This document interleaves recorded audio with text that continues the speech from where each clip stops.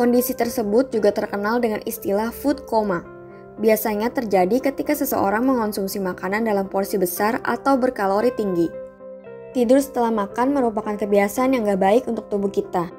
Jadi setelah makan diharuskan memberikan jeda jam untuk langsung tidur. Namun, fakta atau mitos jika setelah makan kemudian tidur akan membuat tubuh kita jadi gemuk? Yuk kita cari tahu jawabannya.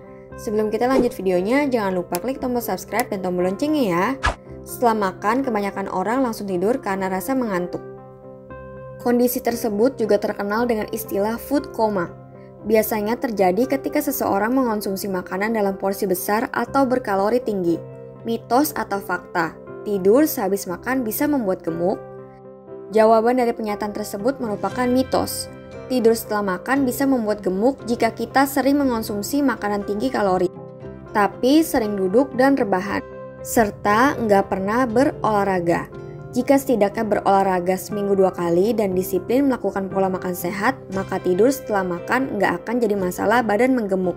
Faktor genetika dan kesehatan yang juga memengaruhi.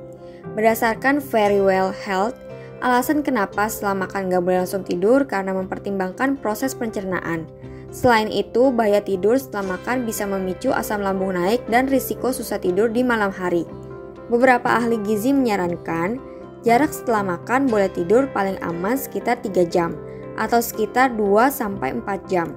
Namun apabila makanan yang dikonsumsi relatif ringan seperti camilan buah dan sayur, jarak antara waktu makan dan tidur boleh minimal sekitar 1-2 jam.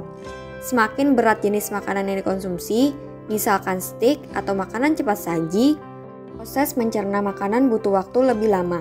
Hal yang paling penting, perhatikan jenis pilihan asupan sehat yang masuk ke tubuh. Berikan jeda antara waktu makan dan tidur sekitar 2-4 jam agar enggak menimbulkan masalah kesehatan. Aktif bergerak dan rutin olahraga setidaknya dua minggu sekali. Nah, itulah jawaban dari pernyataan fakta atau mitos tidur setelah makan bisa membuat tubuh gemuk berdasarkan beberapa sumber. Sekarang kita cari tahu daftar makanan enak yang baik untuk kesehatan. Setiap orang menginginkan tubuh yang sehat dan berharap dijauhkan dari penyakit. Untuk mendapatkan tubuh sehat dan bugar, kita perlu memperhatikan asupan makanan kita dan didorong dengan pola hidup yang sehat. Yap, dengan rajin olahraga dan menerapkan kebiasaan baik untuk tubuh membantu kita panjang umur. Panjang umur yang dimaksud adalah tubuh dijauhkan dari penyakit dan segar bugar. Namun, faktor makanan juga berpengaruh loh. Yap, ada beberapa makanan yang dipercaya membuat panjang umur dan bantu mencegah penyakit. Apa saja ya? Sebelum kita lanjut videonya, jangan lupa klik tombol subscribe dan tombol loncengnya ya. Ikan yang tinggi omega 3 Makanan dengan omega 3 yang tinggi baik untuk tubuh dan bisa melindungi jantung hingga otak. Selain itu, asam lemak omega 3 adalah jenis lemak tak jenuh yang baik untuk mengurangi peradangan di tubuh. Jika terjadi peradangan pada tubuh bisa beresiko menyebabkan penyakit jantung dan stroke, sehingga asam lemak omega 3 bisa menurunkan resiko penyakit jantung dan stroke. Makanan yang tinggi omega 3 seperti ikan salmon, tuna, makrel, herring, dan trout.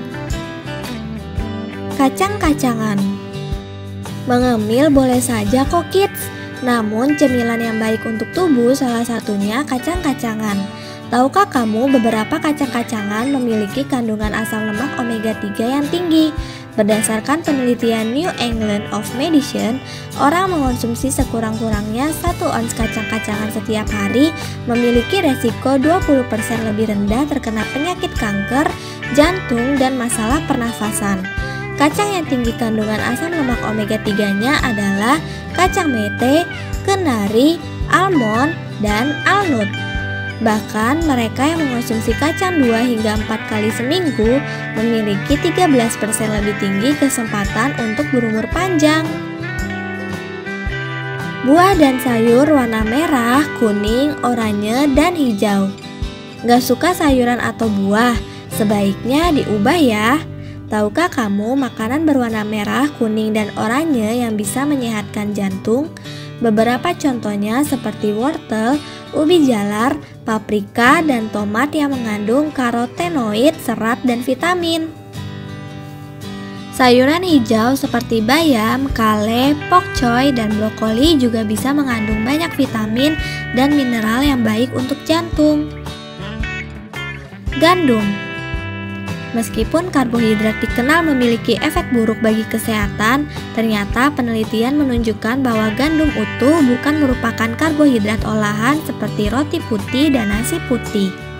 Dengan demikian, Gandum utuh bermanfaat untuk mengurangi resiko kanker, diabetes tipe 2, penyakit jantung, obesitas, hingga gangguan pernafasan. Studi menemukan bahwa orang yang mengonsumsi 7 porsi gandum utuh per hari jauh lebih kecil kemungkinan mengalami berbagai penyakit. Bahkan dengan hanya mengonsumsi 1 hingga 2 porsi gandum utuh sehari juga memiliki manfaat yang serupa. Edamame seperti oat, edamame juga bisa membantu menurunkan kadar kolesterol jahat. Edamame mengandung serat dan antioksidan. Kandungan inilah yang membantu menurunkan kadar kolesterol jahat dan meningkatkan kadar kolesterol baik. Nah, itu dia beberapa makanan enak yang sehat dan bisa menjaga kesehatan jantung dan organ tubuh lain. Sampai di sini dulu ya videonya.